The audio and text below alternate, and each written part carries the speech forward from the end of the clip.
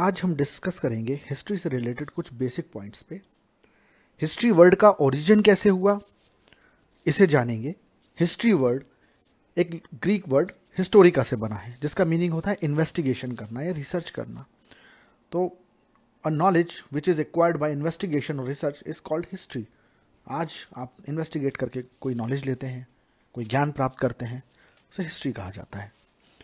History के पिता एक ग्रीक फिलोसफर हेरोडोटस को माना जाता था, जिन्होंने वर्ल्ड की सबसे पहली हिस्टोरिकल बुक लिखी थी, जिसका नाम था द हिस्ट्रीज, और टाइम फ्रेम था 430 बीसी हिस्ट्री अपने आप में एक बहुत ही बड़ा सब्जेक्ट है, और इस सब्जेक्ट को पॉइंट ऑफ़ स्टडी के दृष्टिकोण से कुछ छोटे छोटे पार्ट्स में या डिविजन्स में डिवाइड किया गया है।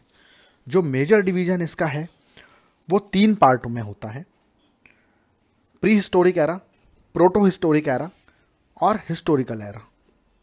प्री हिस्टोरिक एरा या प्रागैतिहासिक काल, इतिहास का वो काल है जहाँ पर हमें मानव सभ्यता के कोई लिखित सोर्सेज या रिटर्न सोर्सेज नहीं मिलते हैं। Pre historic era majorly 30 lakh साल बीसी से 2500 साल बीसी तक का पीरियड है। इसके बाद आता है प्रोटो हिस्टोरिक एरा। जो 2500 बीसी से स्टार्ट होता है और 600 बीसी तक आता है यह वो समय था जहाँ हमें मानव सभ्यता के लिखित स्रोत रिटर्न एविडेंसेस स्क्रिप्टेड मिलते हैं, मगर हम उनको आज तक पढ़ने में सक्षम नहीं हो पाए हैं। तीसरा डिवीज़न जो आता है, वो आता है हिस्टोरिकल एरा या ऐतिहासिक काल का। यहाँ पर हमें रिटर्न एविडेंसेस मिलते हैं इतिहास के और उनको सपोर्ट करने के लिए आर्कियोलॉजिकल एविडेंसेस भी मिलते हैं। प्री हिस्टोरिक एरा को हम स्टोन एज भी कहते हैं। और ये एरा पैलियोलिथिक नियोलिथिक और मेजोलिथिक तीन पार्ट्स में सब डिविजन्स में डिवाइड किया जाता है। पैलियोलिथिक एज जो है, वो एक स्टोन एज है, जहाँ पर मानव स्टोन टूल्स को कार्व करके स्टोन से अपने टूल्स बनाकर अपना जीवन यापन करता था, शिकार करता था, और बाकी वो सारे कार्य करता था, जो कि उसको सर्वाइवल में सहायता करते थे। पैलियोलिथिक एज को भी तीन सब डिविजन में डिवाइड किया गया है।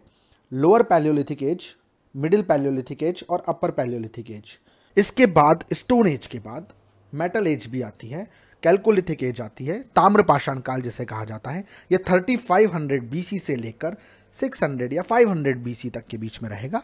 इसमें हमारे पास में प्री हड़प्पन फ़ेज़ आएगा, हड़प्पन फ़ेज़ आएगा पोस्ट हड़प्पन फ़ेज़ आएगा। इसके बाद आर्यों का आगमन होगा, जिसको आयरन एज कहा जाता है। इसके अलावा क्रोनोलॉजिकली भी हम हिस्ट्री को तीन पार्ट में डिवाइड डिवाइड करते हैं। एंशियन हिस्ट्री मिडिवल हिस्ट्री और मॉडर्न हिस्ट्री एंशियन हिस्ट्री या प्राचीन इतिहास फ्रॉम द बिगिनिंग से स्टार्ट होकर हर्षवर्धन की डेथ तक सिक्स फोर्टी सेवन एडी के बीच का समय है। हर्षवर्धन की डेथ के बाद से प्लासी की लड़ाई तक का समय 1757 तक का समय।